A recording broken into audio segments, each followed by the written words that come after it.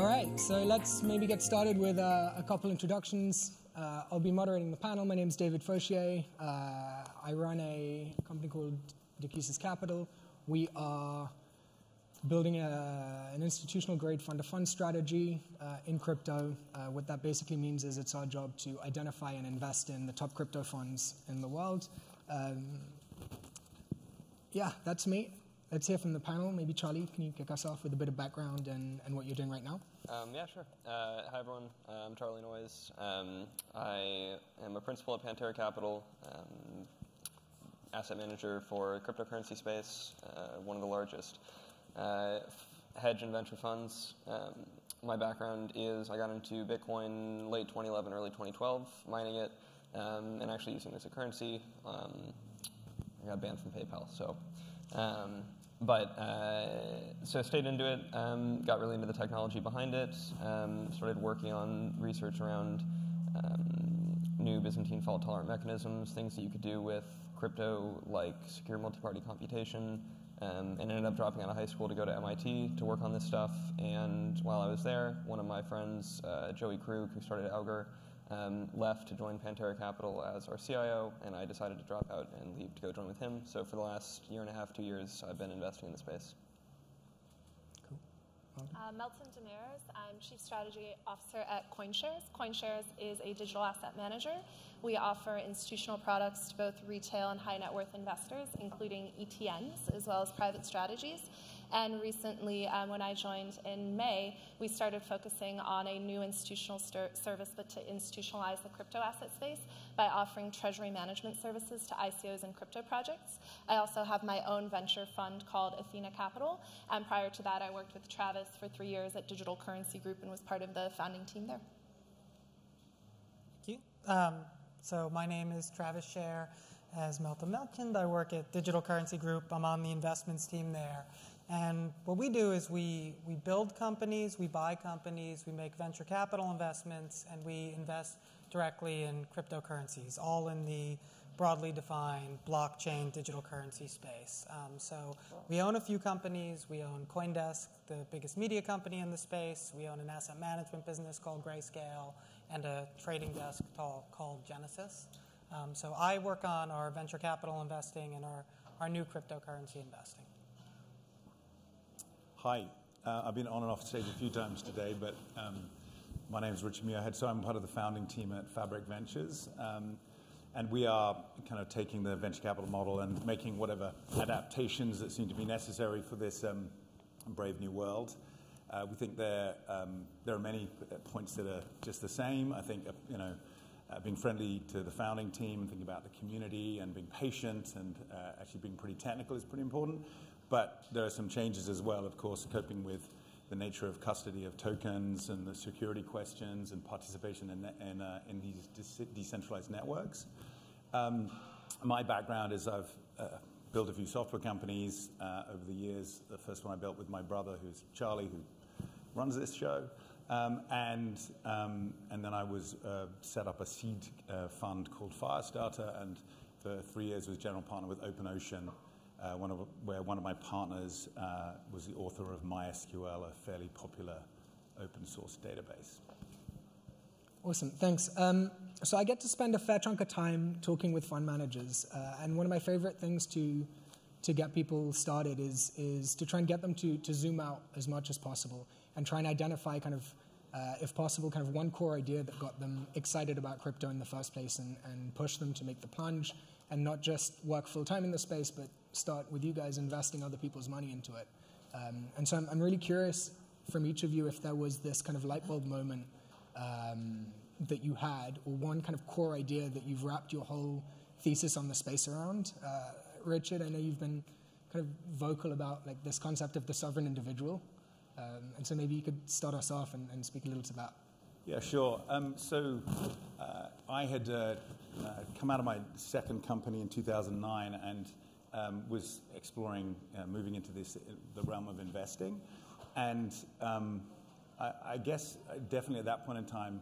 I, I hadn't come across a, a, wave, a movement, a, a, change into the infrastructure that had really got me super excited uh, until um, sort of 2013, where I'd heard of Bitcoin before. I'd come across it even as early as 2009, but let's be clear, I had not piled in in any way, shape, or form. But I was introduced or reintroduced to it by um, uh, Steve Waterhouse, who was just setting up Pantera at the time uh, in the spring, and it kind of um, uh, matched with some of my experiences in building uh, my second software company, where we'd try to get people to um, uh, apply their knowledge and capture their knowledge to solving really complex uh, problems. Um, and um, doing that is, is remarkably hard. Um, and, and so getting them to capture their data, to share it willingly, and providing that incentive to them uh, was quite a struggle. So when I came across projects like um, actually what was called Onename at the time in, in 2000, 2013 that became Blockstack, and saw how you could start to create this uh, self-sovereign identity. Um, and I also uh, was involved in a, uh, an instance where, uh, without any intermediaries being involved, someone moved $100 million, kind of just like that. Um, I, um, within 2013, kind of the light bulb went off that, that this technology that uh, was highly accessible but perceived by many people as being fundamentally broken or trivial uh, actually had huge potential. So that was kind of my light bulb moment sometime in 2013. And Travis? Um, so I discovered Bitcoin in 2014, and my background was in law and in finance. So I knew very, very little about technology at that point. Um, and and uh, so what what resonated with me most deeply about it was the analogy to gold. Um, so, like most people, I had never thought very deeply about what money is fundamentally and what gives it value. Uh, turns out that what gives gold value is certain fundamental characteristics that make it good money.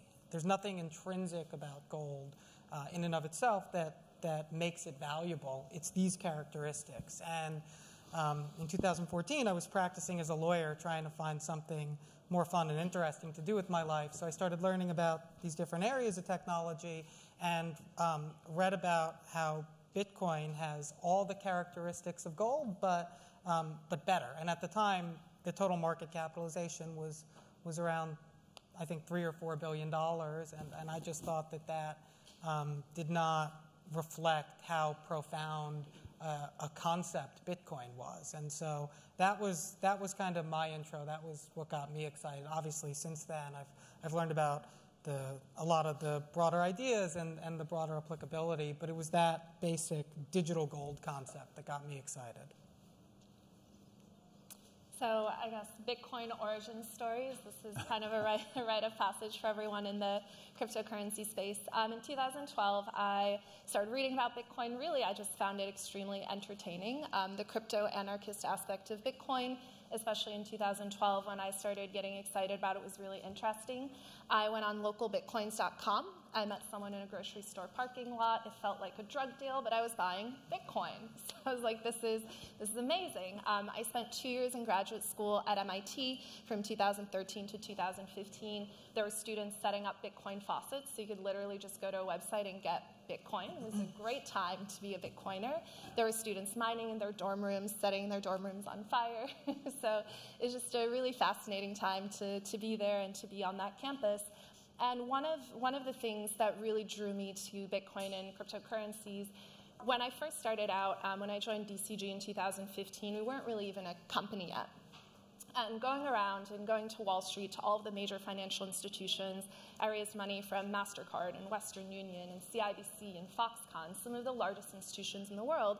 And when you would go and talk to them about Bitcoin, they'd say, mm, yeah, this Bitcoin thing, like whatever, that's over here, but blockchain, that's awesome. And so to me, it's really this idea of a Trojan horse that started more on the enterprise SaaS side. But the more that people started learning about blockchain technology, the more that people realized the value was really in this idea of creating protocols and in this case, unlike the internet boom in the 99 2000 timeframe, people could actually invest in protocols via these things called tokens. And so to me, you know, we understand equity financing, we understand debt financing. I come from the world of corporate finance and trading. I've known that most of my career. But this idea of token financing and where that fits in is really new and really unique. And so I couldn't think of a better place to spend my time than working on the next five to 10 years of really sorting out what the implications would be, not just for the crypto ecosystem, which has grown exponentially in the last five years, but for the broader world of macro and finance and what's happening from an economic and political perspective. Cool.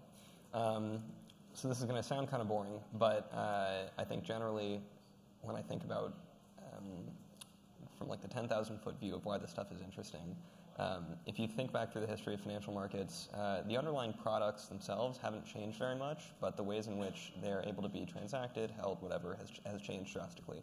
Um, so, I mean, just electronic trading versus single entry accounting ledger books, mm, pretty drastic change over time. Um, however, the actual underlying instruments are extremely similar. We haven't really created anything that um, is radically different from what you might have imagined being created even in the days of like single entry ledger accounting. Um, I think the most interesting thing and our core thesis is that this stuff allows you to create similarly incentivized instruments, um, and fundamentally equity and debt instruments are, are incentive systems built around um, you know, notions of specific types of products um, in ways that are more interesting. So this, me- this can mean that um, you have, for example, um, a stablecoin generated by a shared pool of debt in which uh, you can structure a product where um, if I contribute to this multi-asset pool of debt um, that represents the value of this stablecoin, uh, if I contribute assets which fail more than the average, then the amount of tokens that I hold can inflate separately from other people. It's basically like you take computer science and apply it to financial instruments, and all of a sudden you can create things that still retain their incentive correctness in a way that um, I think requires decentralization, but uh, are significantly more complex and more individualized than just like some general instrument that doesn't really have any interactive properties to it. Um, and when you get to that point, it might sound boring, but you can start creating things that are uh, the kind of um, results of which or products of which are really, really interesting um, and largely applicable and allow you to create things that I think could not exist in any other um, in any other way. So. Cool, that's super interesting. Thank you. Um, so one of the big questions that I get again and again from institutionals is if this stuff is open source, then how much value can actually accrue to the protocol and the token itself? And kind of crucially, how defensible is that value? And I get a little bit uncomfortable talking to investors about this uh, who are from the traditional kind of equity world because I think they are used to a much more kind of nuanced and granular discussion and understanding of moats uh, in equities. And I think that as a community in crypto, we've spoken kind of very lightly of like concepts around network effects and, and utility versus store value, but I think there's still kind of a lot of a lot of thinking and, and work uh, that needs to happen in this space. And so I just wanted to ask each of you kind of with kind of examples and being as specific as you can get, like maybe from your own portfolios, um, like exactly how do you build defensible and persistently defensible protocols? Like, have you guys seen any particular interesting mechanisms around this? Uh, Meltem, if you want to take this. Sure. Uh, so I think Bitcoin has been the most defensible protocol I've seen so far. I think one of the most important things to keep in mind, um, when I started out, I guess I was a Bitcoin maximalist, and that almost feels like a dirty word now. But I think Bitcoin to me was the idea that really made sense. It was an analog, as Travis said, to digital gold, which I thought was really interesting, but it had a lot of these properties around being distributed in terms of the actual network implementation, the ability for people to push their own transactions to the network, creating a permissionless open financial system was, was fascinating. But I think as more and more protocols have evolved and we now see innovation, not just at the protocol layer, but as the protocol layer matures, we see innovation at the network implementation layer with new consensus algorithms. So proof of work, obviously investing in mining has been one of those if you value props, but now with proof of stake, proof of space and time, there are new ways of achieving consensus that can enable people to invest and participate in value creation at the actual physical compute implementation layer. And then I think the application layer is where a lot of VCs were attracted first. It's probably most analogous to traditional early stage venture investing, And we've seen a lot of businesses at the application layer have actually been able to accrue a lot of value because they enable people um, who are not necessarily developers, who aren't able to access the blockchain network directly themselves to interact with these protocols in unique and specific ways. So to me, really, the maturation has been first we created these assets and these protocols. Then we distributed them through this token incentivization vehicle, which I think has had limited success. I think we're starting to see the breakdown of ICO financing in the first and second quarter of 2018. It's been really challenging for people to raise money unless they have a really specific use case that they're uniquely addressing. Um, and I think once we move past the distribution phase into these tokens actually being live and being traded, the biggest challenge I see is really around the specificity of the set of applications that can be built on top of a protocol. And so what you're starting to see is kind of clustering of these different tokens and protocols around use cases like debt and lending, for example. Um, stable coins is now a really popular category. So I feel like in venture things tend to move in cycles. So we've seen kind of the overcapitalization of the exchange space. Um, so now we have tons of companies who are addressing that vertical. We've seen the overcapitalization of the custody space. So we see these waves as people try to address unique problems in the space. And to me, really, it's about bringing new ideas to the market that address use cases that are actually tangible and near term. A lot of these ideas to me feel still very esoteric. They're not necessarily applicable to 99.99% of the world population. And so to me, that actually creates a great window of opportunity for something like Bitcoin, which is very tangible, which has a lot of infrastructure around it to continue to capture market share. um, I'll jump in. So, a, I agree with Meltem that Bitcoin is the most defensible crypto asset out there right now. Um, I, I, think that's because its value is largely derived from a social consensus that Bitcoin has value. Um, and, um, you know, it, it's not at this point from its technology. So Litecoin was an early fork of Bitcoin's code that has shorter block times, and so you can confirm transactions on that network more quickly, but because fewer people know about it or believe in its security or its development team um, or expect it to be stable over the longer term, Bitcoin is, is much more valuable in the aggregate. And, and I don't see any reason that that won't persist. Um, B, I think that at the smart contract layer with these smart contract platforms, we're seeing an extraordinary amount of competition. So Ethereum has a massive lead today in terms of the number of developers building on it and working with it. And there are thousands of developers all over the world who are extremely loyal to Ether, Ethereum, either because they hold Ether or because they really value being members of the community on a personal level. Um, but at the end of the day, um, I expect that developers and companies will build applications on the networks that are most well suited for their use cases. And so right now, Ethereum's going through massive scaling, scaling challenges.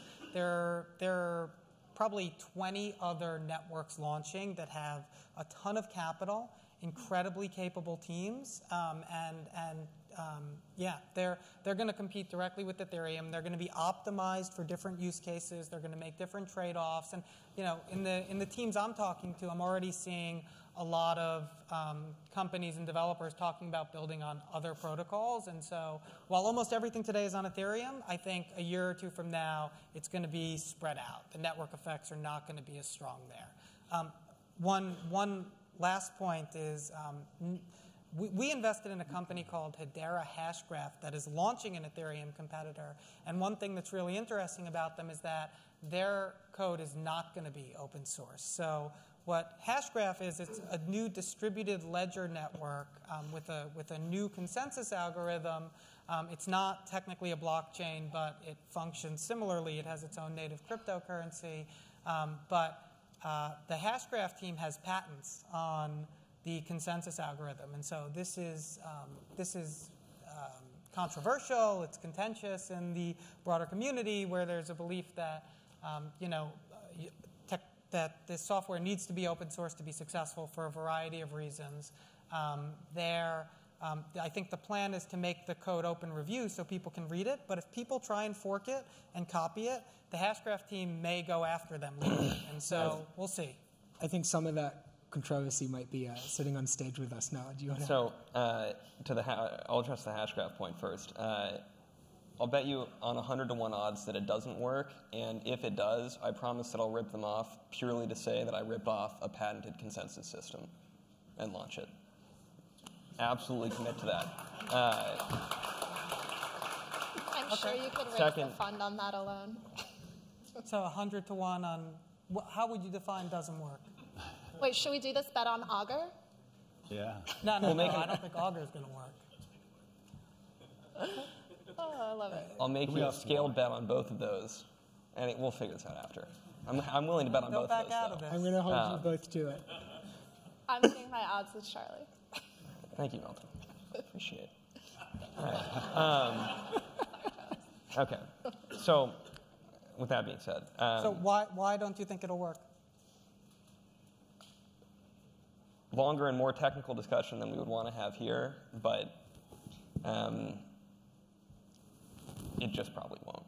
No one, no, one, no, no one has correctly figured out a way in which you can define like a formal consensus uh, protocol over uh, like a non-delineated uh, ledger. So like Hashgraph, and along with a bunch of other very interesting ideas that have not yet been figured out, um, don't rely on individual blocks. They use what are called DAGs. Well, certain types of graphs that are computationally interesting and Do you theoretically think DAG Labs will work? DAG Vector? labs. Yeah. You guys invested in that one, right? Mm, no, I think it has a higher probability, but I'd give it like 30, 40%. There's still issues with transaction ordering with all of them. Let's, let's But may- anyway, maybe move on um, to the next kind of controversial subject uh, Um, around stablecoins, if that's all right. Let's talk about Running a little bit out of stablecoins, time. my favorite topic.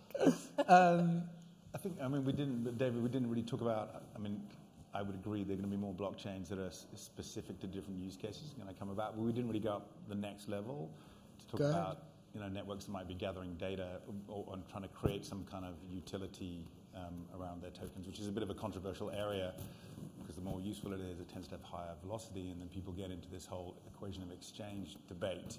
But just a couple of comments on that.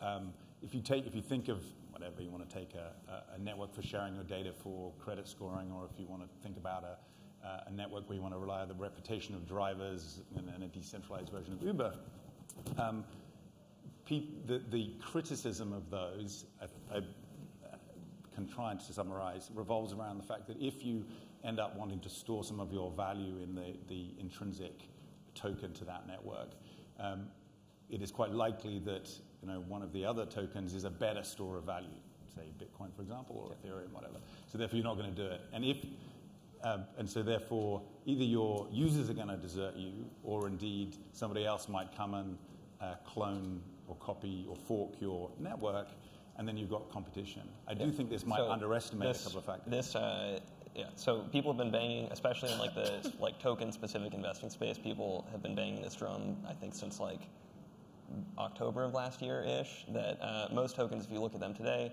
um, essentially the argument behind their value is that they offer you the ability to purchase some resource in some two-sided marketplace. Um, so this could be like computational power, uh, file storage, um, the right to access. I don't know. Just pick go go down the list on CoinMarketCap, and like most, like 99% of them are like this.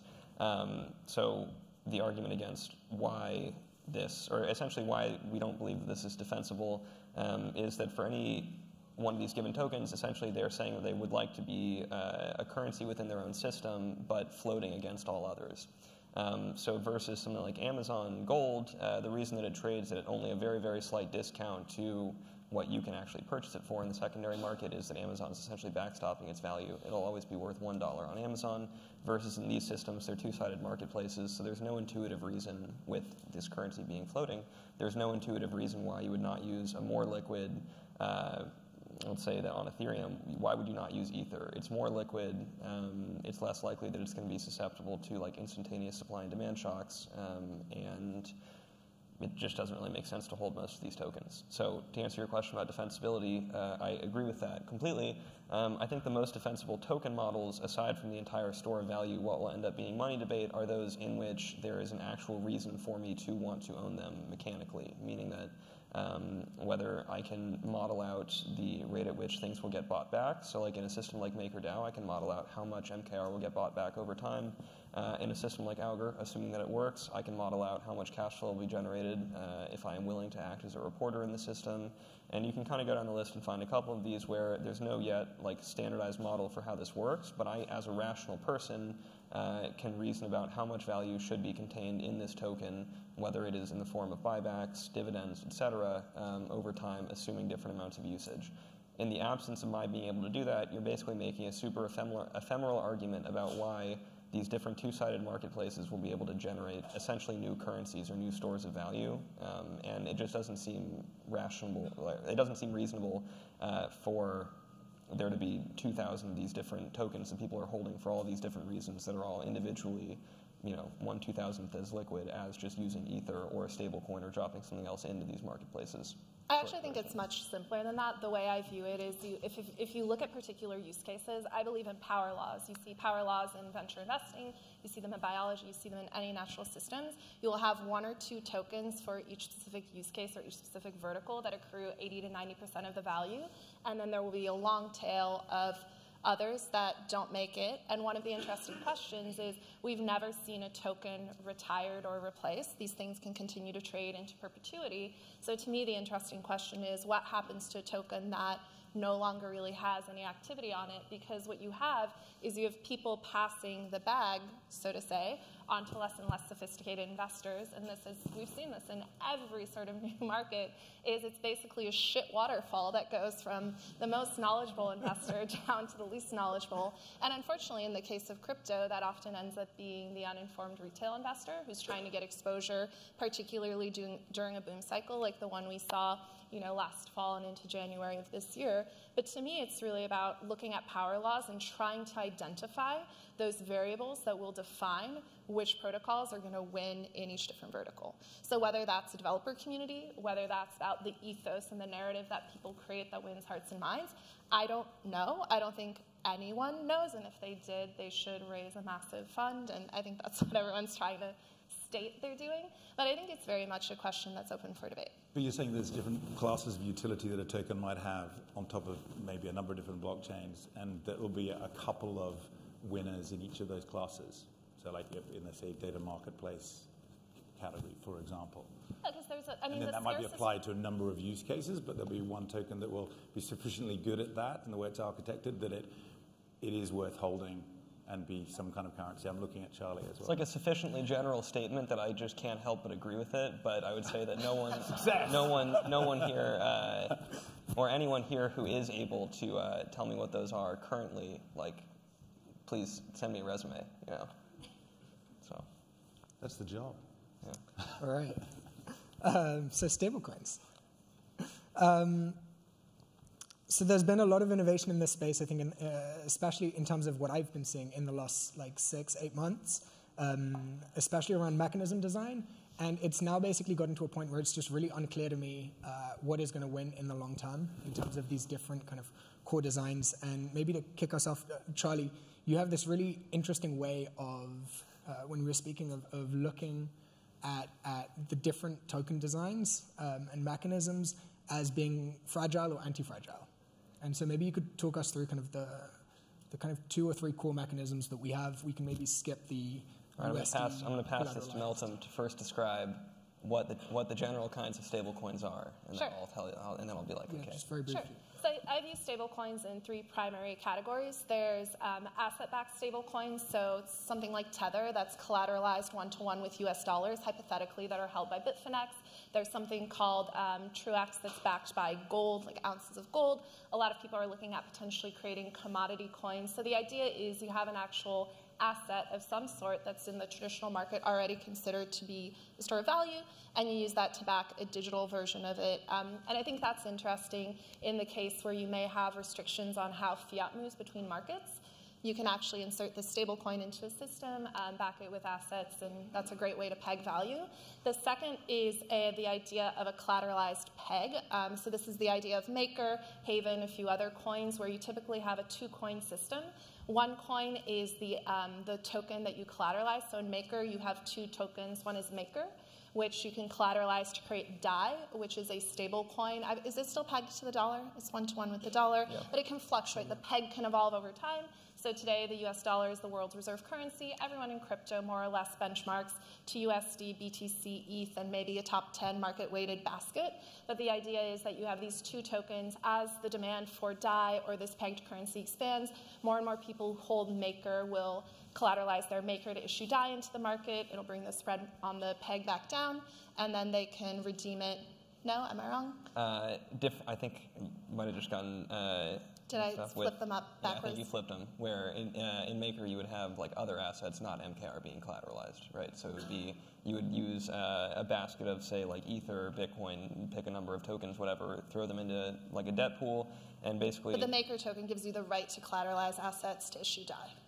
The Maker token is what uh, fees are paid in the system for.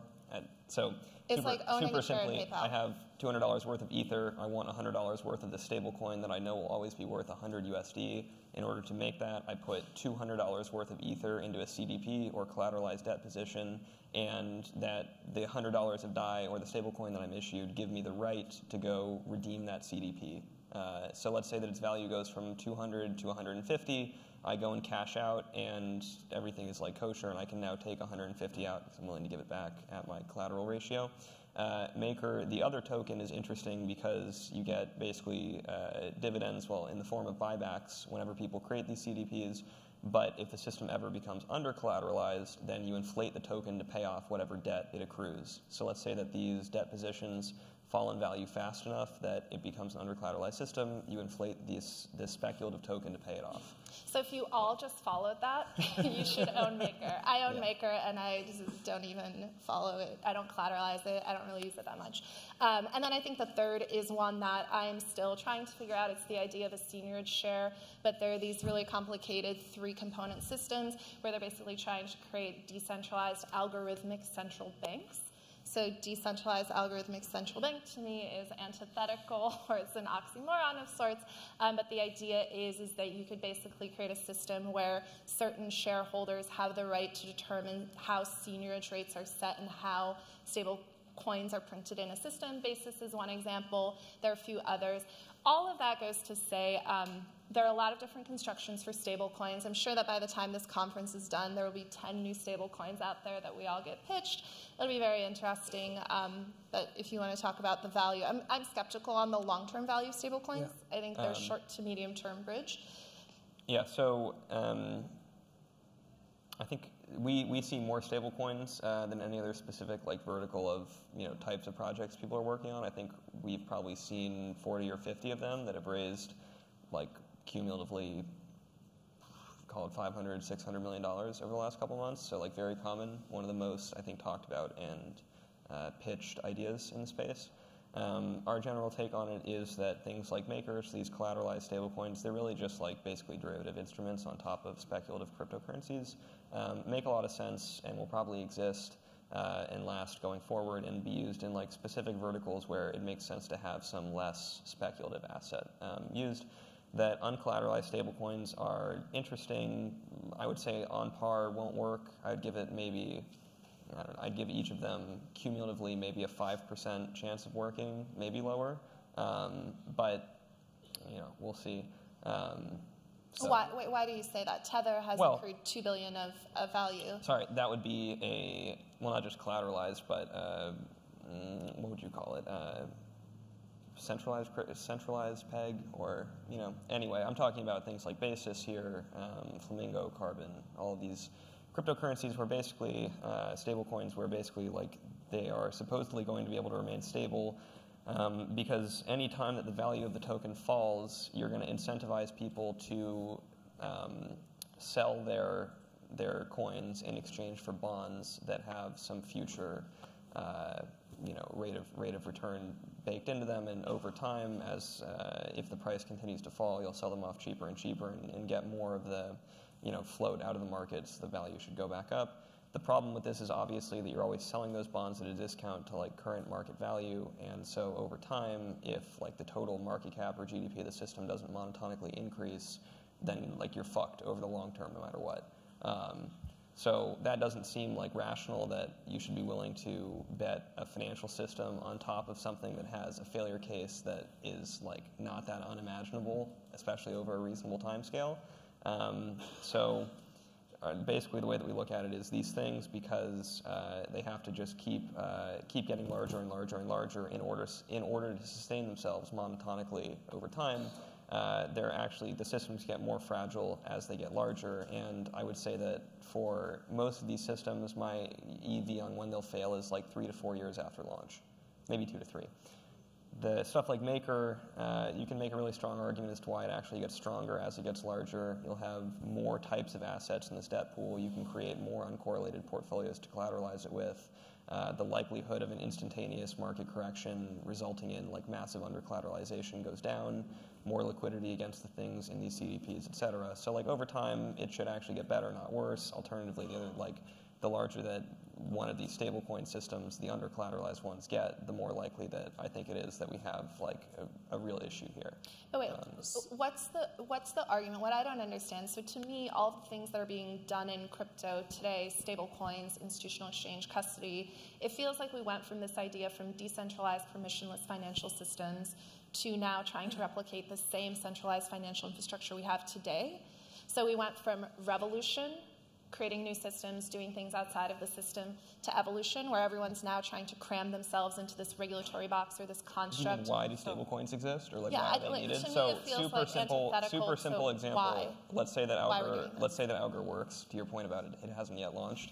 Uh, prediction market where shares are priced in terms of ether. So if I think there's a 30% probability event, of an event, I buy a share at 0.3 ETH, whatever that that represents my ownership in this market. Uh, in these types of things, uh, specifically speculative markets created on top of uh, cryptocurrencies or blockchains, uh, it doesn't make sense to price them in terms of highly volatile assets because now you're not just exposing yourself to whatever risk you're taking into account when you decide to participate in them, you're adding in sort of like market beta on top of that. So the reason why stablecoins make sense to exist is that many of the products which we would want to create don't make sense to have like right. uh, you know undue exposure to, for example. But that's a short to medium so term. It's the word volatility, but also it's not necessarily regulation. It's not like you're, you're decentralizing. Right. You're just so annualized volatility in Bitcoin's 80%, in Ether it's 120%, in other longer tail crypto assets it's closer to 250 to 300%.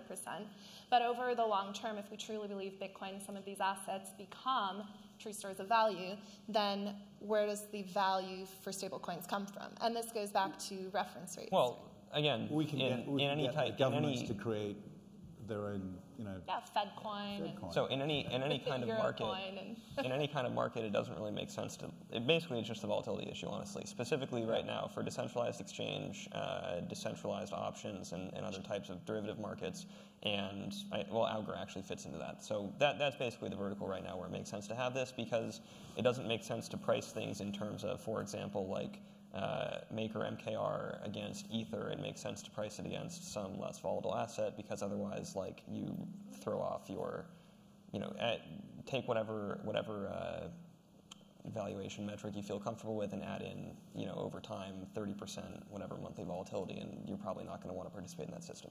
So, short version. Richard, I know you guys uh, at Fabric invested in Basecoin. So, what do you think of this? Uh, Five percent. Oh well, to be clear, we, we also all invested did, in but yeah. you all did. Yeah. Five funds okay. invested as well. Yeah. It's a good EV bet. I mean, if it works, it's it's big. Yes, Power I, venture that's Power reasonably good. Yeah. I, I don't think that. Um, so a, I think the problem it's solving is very basic. I I have a. I mean, I have a. I have a lot of faith in Bitcoin over the longer term, but I don't know if and when we're going to get to a point where it's no longer highly volatile.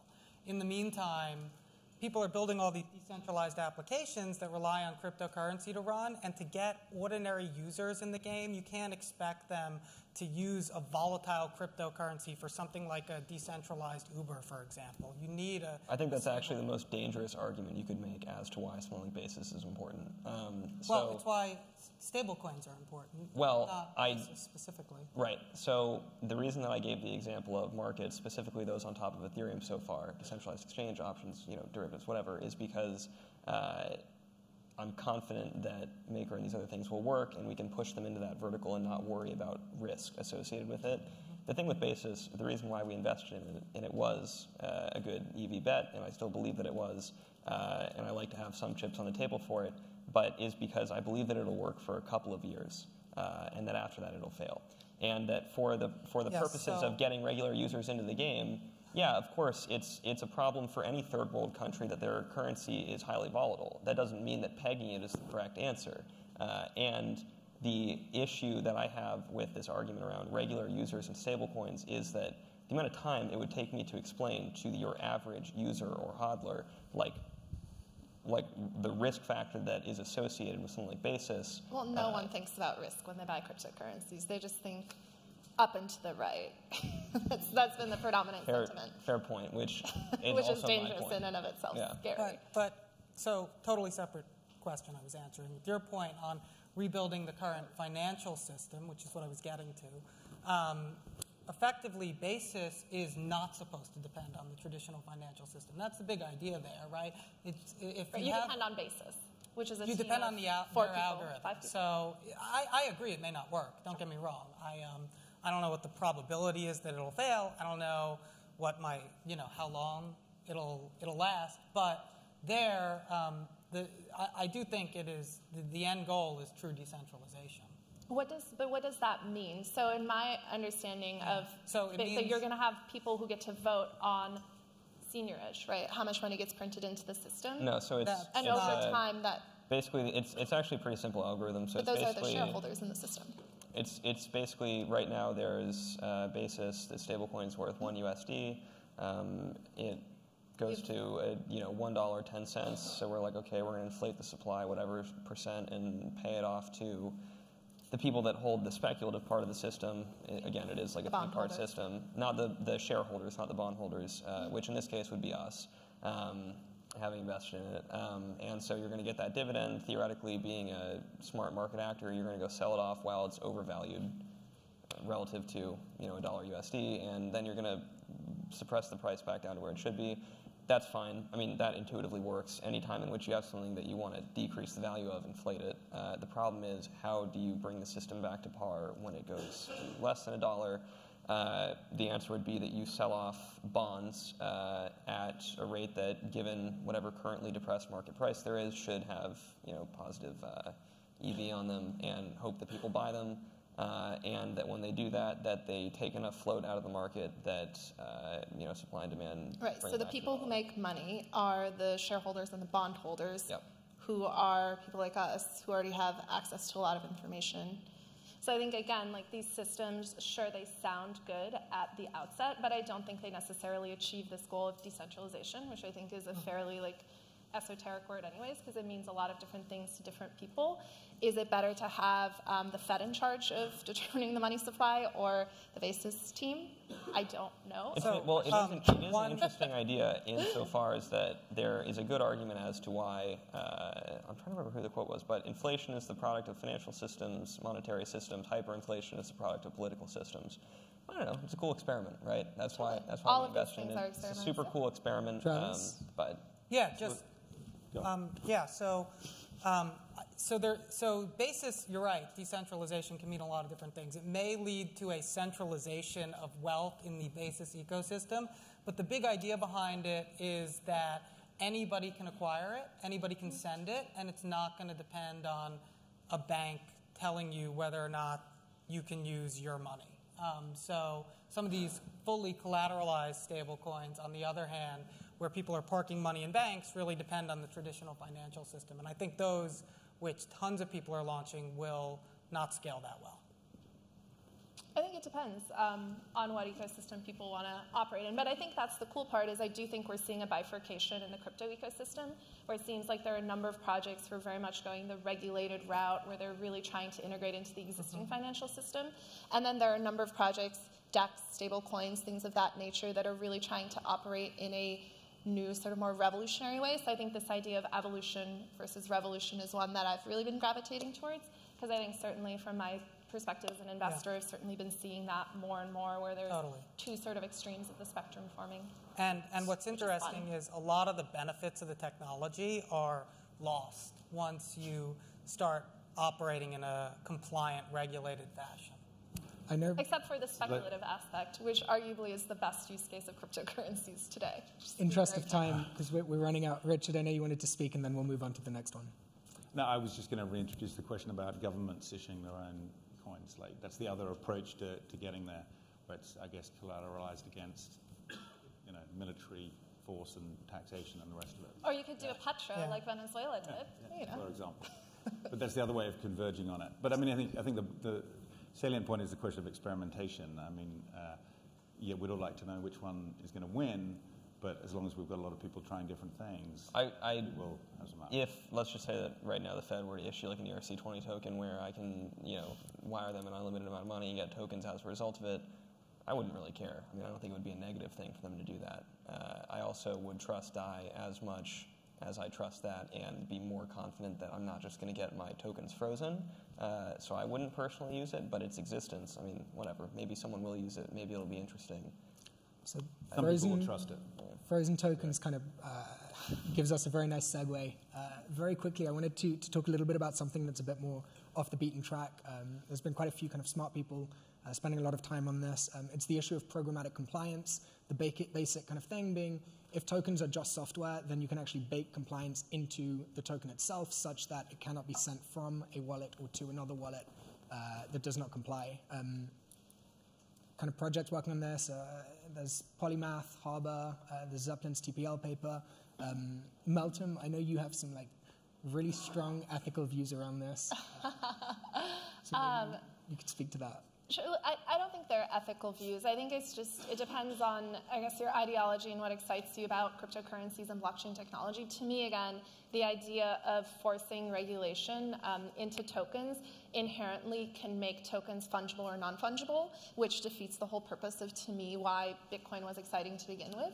Um, and so to me, the idea of ERC 721 tokens or tokens that can have this compliance embedded in them, where you can have white lists of people who are allowed to transact with a token and a group of people who aren't, starts to really just get away from the idea of why cryptocurrencies are important to me in the first place. The other thing I really, really worry about um, this is uh, when we were on our phone call. I mentioned, you know, sometimes I wake up at three in the morning. I'm like, shit. By introducing governments, the idea of Bitcoin, did we actually introduce the most perfect tool for totalitarian control of money, identity, and the flow of information? If you think about how transparent the Bitcoin blockchain is, um, you know, having looked at some of the network monitoring tools that are out there, like elliptic and Chainalysis, I think one of the big concerns is that we may have actually introduced governments to these lossless systems where everything is perfectly monitorable, which I think introduces a big ethical sort of aspect to how we design these protocols and how they get implemented. Because I think in our minds, especially um, you know as engineers and mathematicians, at first blush these projects look fantastic. But if you think about second and third order magnitude consequences of implementing these these protocols and these networks, you could actually start to see them used in ways that inhibit freedom ways that inhibit personal privacy and all of the other values that I think most people who care about cryptocurrencies are really passionate about. So I think about that a lot. Cool. Yeah, I mean, I agree. Uh, in speaking to a number of, uh, should we say, government institutions across Europe about the potential for investing in this space, and of, you know, one of their um, uh, primary ner- you know, areas of nervousness is about, you know, do I have transparency? Are people going to pay tax? Are these things going to be regulated and compliant? It's a fast moving space. It's quite hard for folks to get their head around. Um, one thing I've definitely come to believe is that actually a lot of those perceived weaknesses are going to be strengths of the space, which then presents possibly the dilemma that you're describing, which is indeed that all of this software is going to make it extremely easy to be very clear on who is transacting, you know, with whom and on what kind of transaction and has what um, value stored where. So, um, and that's an issue. However, I mean, I think that leads into the question about um, uh, do we need to think carefully about the architecture or not to protect that privacy fundamentally in the way in which this, this evolves? And can we find a middle ground where um, you know, these are good transactions taking place, I won't call them reg- regulated, um, uh, at the same time as protecting personal privacy the, and paying tax. To the point we, about. Uh, we need to wrap up. I'm sorry. Sorry. Token registry. Okay, go. Well, no one actually answered. so, uh, full disclosure, short version, we invested in Harbor, but uh, I think if we're right in the long run, won't matter. Like it, in the long run, if all of us on stage are right about this, it's not going to matter. Um, in the short, in, Harbor, maybe we should explain what Harbor does. Harbor is just a way of basically saying that for any given token, uh, let's say that I have some like uh, SPV in Sweden that has art in it, I want to you know fraction or securitize it in the form of a token. Uh, it might not be reasonable for like uh, some certain nationalities, uh, citizens to own it for whatever reason, securities laws, just because you're like, I don't want to deal with these people in my SPV. like for whatever reason, you can segregate token ownership to people that have certain uh, qualities. Most likely that'll be securities laws at first, but honestly, like uh, for a lot of this stuff, especially things that touch the real world, um, like fractionalizing you know, ownership in, in certain types of uh, things like art, whatever, uh, it, it makes like a decent amount of sense. I don't think it's that much of a centralization risk. Sure, I think it's more just if it's used appropriately. Sure, but I think the idea of um, where ethics and science intersect, right? Like technology is not inherently good or bad. It's the way we use it that can make it good or bad, which is also a highly subjective thing. And I think that's where the danger comes in. Is um, I think as investors, as creators, as um, entrepreneurs, we kind of have this responsibility to think about those implications. Great, thanks. And very quickly, maybe as a, as a wrap up in a few sentences from each of you, is there something that you can think of uh, that is very important? Like, what is the most important thing that's happening at the moment that nobody's really talking about? Well, I mean, uh, super quick. Um, I mean, people have been talking about it a little bit, but um, the, the concept of uh, token engineering and, and, very sophisticated ways of token issuance that may change over time to, to be able to um, essentially you know, um, solve the cold start problem of very sophisticated networks. I think um, there's some work um, that Vitalik did on that uh, around being able to kind of release taps around you know, milestone-driven, deterministically driven um, release of tokens when networks achieve certain milestones, for example. I think that's pretty interesting. And then the other thing I got excited by mo- most recently, which I'd love to hear other people's opinion on, um, is I mean, governance is a big problem, and how you move from you know uh, one person who might or might not be a nice, smart dictator um, through to a community, you know, nurturing this this new child and. Um, therefore, you know, in just the communities around these software projects, let alone any more sophisticated decentralized organizations, um, how do we make governance work? And I, uh, the use of prediction markets to make those efficient, uh, I thought was an interesting idea. We have our first Augur bet on this stage. So I'm excited. 100 to one. Governance. Well, the first Augur market uh, when they launch, which will be the only one people are allowed to bet on, is will Augur fail as a prediction market? I love that. Pretty neat idea. uh, Travis? Um, so I would say in my day to day, the the one theme that is just blaring out at me is competition. So people talk a lot about price. Um, the price of these assets went through the roof last year, and that was largely driven by retail interest all over the world. Um, lagging that is a, an extraordinary amount of, of venture capital that's now moving into the space, um, institutional capital that's moving into the space, and just an incredible number of talented, experienced entrepreneurs who are starting companies in this space. Um, so what you have is a, is a is an industry that has I'd say 10 times as much talent as it has two years ago and 100 times as much money. Um, and so, you know, from an investor's perspective, it begs the question what are returns going to look like in a few years um, in terms of investing today? And, uh, you know, how, how sustainable is the lead that companies like Coinbase and Ethereum have, um, have, have achieved? But um, from, a, from a technology perspective, I think it's an extremely exciting time. Uh, for me, it's um, I'm really excited about investing in the networking layer. So much of the focus has been on protocols and applications that not a lot of people have paid attention to all of the physical compute that's going to be required to support all of these blockchain protocols, especially ones that are going to be incredibly um, intensive in terms of computational needs. And so to me, there's big opportunity both from a geopolitical perspective, an economic perspective, um, but also thinking about sustainability and the way you know people are, are thinking about powering all this compute. There's a massive opportunity there, um, just like there was in the internet. If you look at the lead that AWS has in the cloud compute space, um, it'll be really interesting to see how the blockchain compute space develops. And so um, thinking about really cool ways to finance that through new types of structures is, is exciting to me. Cool. Uh,